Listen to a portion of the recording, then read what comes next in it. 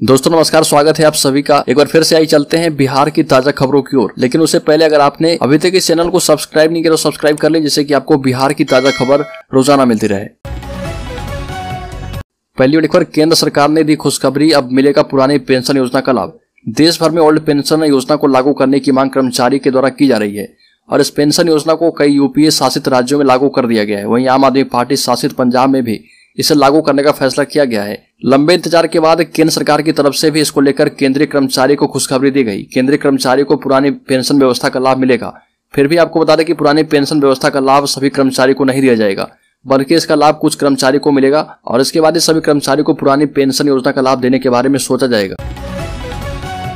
अलकर विकासशील इंसान पार्टी ने अमर शहीद जुब्बा साहनी की शहादत दिवस मनाया। इस मौके पर उत्तर प्रदेश बिहार और झारखंड के पार्टी पदाधिकारी उपस्थित रहे। जहाँ पर बीआईपी के प्रमुख मुकेश सैनी ने 25 जुलाई को पटना में फूलन देवी के शहादत दिवस के मौके पर बड़ा आयोजन करने की घोषणा की है। बीआईपी नेता ने तंज कसते हुए खुद को पहाड़ बताते हुए कहा कि अब पहाड़ के नीचे आया है। बिना निषाद के बोर्ड के पीएम बनने वाले पीएम नहीं बन सकते। उन्होंने दावे के साथ कहा कि जिसे पीएम बनना होगा, उसे निषाद का बोर्ड चाहिए। मुकेश सैनी ने केंद्र सरकार पर कटाक्ष करते हुए कहा कि जिस सरकार को आज स्कूल, अस्पताल बनानी चाहिए, वो आज मंदिर बना रही है। अल्को राज्य के सभी जिलों में तैनात होगी इमरजेंसी रिस्पांस टीम। अत्याधुनिक सुविधाओं से लैस रहेंगे एसडीआरएफ के जवान।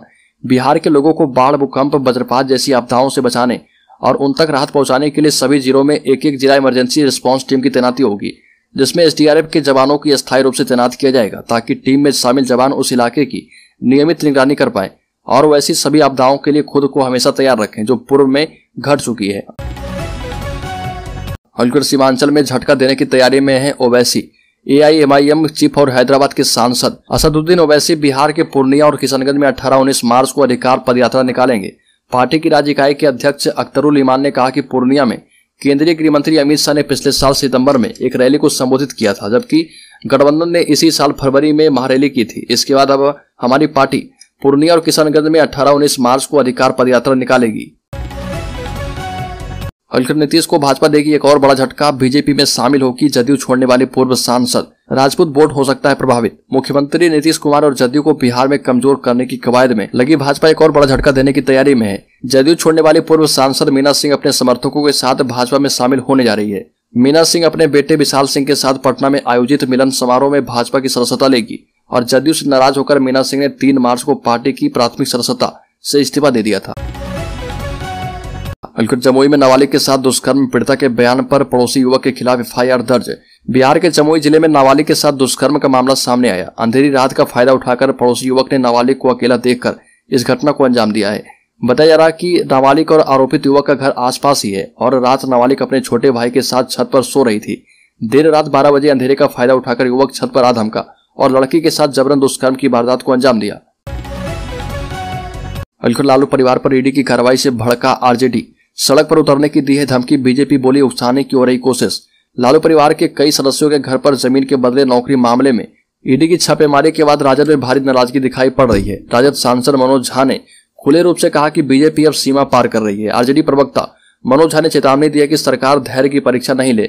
हमारे कार्यकर्ता सड़क पर आने को तैयार हैं और हमने रोक रखा है। मनोज झा के इस बयान के बाद बिहार की सियासत गर्मा गई है। बीजेपी प्रवक्ता संतोष पाठक ने कहा कि पिछले कई सालों से लालू परिवार पर कार्रवाई हो रही है, पर कोई सड़क पर नहीं आया। विश्व स्तरीय बनेगा बिहार का मुजफ्फरपुर रेलवे जंक्शन। दो फ़ेज़ में पूरा होगा काम। बिहार में राजधानी पटना के बाद प्रमुख शहर मुजफ्फरपुर रेलवे जंक्शन को विश्व स्तरीय बनाया जाएगा और यह काम दो फ़ेज़ में किया जाएगा। प्रथम फ़ेज़ का काम 2024 में पूरा कर लिया जाएगा। स्मार्ट सिटी मुजफ्फरपुर के रेलवे जंक्शन पर यात्रियों की सुविधा के लिए सभी प्रकार की आधुनिक सेवाएँ बहाल की जाएगी। यात्री सुरक्षा का खास ख्याल रखा जाएगा। रेलवे जंक्शन पर एयरपोर्ट जैसी सुविधाएँ रहेगी। जानकारी के मुताबिक इसमें मल्टी स्टोरी पार्किंग भी शामिल रहेगी। हल्कर नौकरी के बदले ज़मीन घोटाले के मामले में लालू परिवार के करीबियों पर ईडी की छापेमारी के बाद सियासत गर्मा गई है। अब इस मामले में बिहार के उप मुख्यमंत्री तेजस्वी यादव खुलकर सामने आए और भारतीय जनता पार्टी पर जोरदार हमला बोला और कहा कि 2017 की छापेमारी में क्या मिला था, उसका हिसाब पहले दिया जाए और फिर तथा कथित 600 करोड़ रुपए का हिसाब मांगते। तेजस्वी यादव ने कहा कि भाजपा सरकार के द्वारा सूत्रों के हवाले से इधर उधर की भ्रामक अफवाह फैलाने वाले खबर प्लांट करवाने की बजाय रेड के बाद हस्ताक्षर किए जाने वाले पंचनामे की सूची सार्वजनिक कर देनी चाहिए। हलगढ़ शिवानंद तिवारी ने आरजेडी की राज्य परिषद की बैठक में छह माह पहले कहा था कि विपक्षी पार्टियों को एकजुट करना तराजू पर मेढक तोड़ने जैसा है। हालाँकि अब विपक्षी पार्टियों को शिवानंद तिवारी ने नसीहत दी है। कहा कि बयानों, भाषणों से लोकतंत्र बचने वाला नहीं है। लोकतंत्र को बचाना है तो संघर्ष के मैदान में उतरना होगा। शिवानंद तिवारी ने कहा कि नरेंद्र मोदी आरएसएस के खाटी स्वयंसेवक है और वो लंबे समय तक संघ के प्रचारक रहे। संघ लोकतंत्र में यकीन नहीं करता और जिस प्रकार मोदी सरकार लोकतंत्र की धज्जियाँ उड़ा रही है स्पष्ट है कि इसे बचाने के लिए संघर्ष का मैदान ही अब एकमात्र रास्ता है। हल्कलैंड फॉर जॉब स्कैम में ईडी की टीम लालू यादव और उनके करीबियों से पूछताछ कर रही है। टीम ने लालू यादव की बेटियों के घर कार्रवाई की। इस दौरान तेजस्वी यादव की पत्नी राजश्री भी मौजूद रही। राशि प्रेग्नेंट है और बारह से पंद्रह घंटे टीम की छापेमारी चलती रही।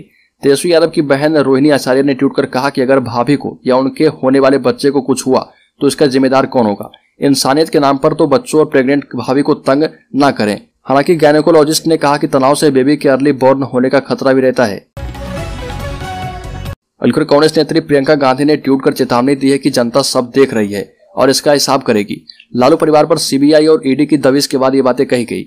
ट्वीट में प्रियंका गांधी ने कहा कि भाजपा सरकार विपक्ष की मुखर आवाजों से इतनी भयभीत क्यों है? सरकार सारे हथकंडे अपनाकर बस विपक्ष की ना झुकने वाली आवाजों को दबाने की राजनीति कर रही है। बिहार के उप मुख्यमंत्री तेजस्वी यादव जी पर एजेंसियों की कार्रवाई इसी राजनीति से प्रेरित है और जनता सब देख रही है। अलगढ़ ज़मीन के बदले नौकरी के मामले में इन्फोर्समेंट डिपार्टमेंट ने कहा कि 600 करोड़ की गड़बड़ी है।